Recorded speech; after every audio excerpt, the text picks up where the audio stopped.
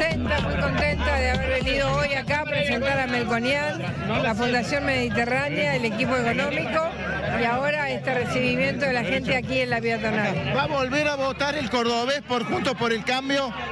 Yo, lo vamos a buscar, lo vamos a convencer, vamos a trabajar, le vamos a plantear que ahora hay un- un- una nueva impronta, un nuevo liderazgo y vamos a ir por ese lado.